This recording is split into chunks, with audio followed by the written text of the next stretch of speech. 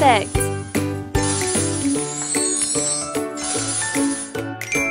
Love it! Thanks for helping. That's a great step for becoming a fashion doll. Glam Doll Makeover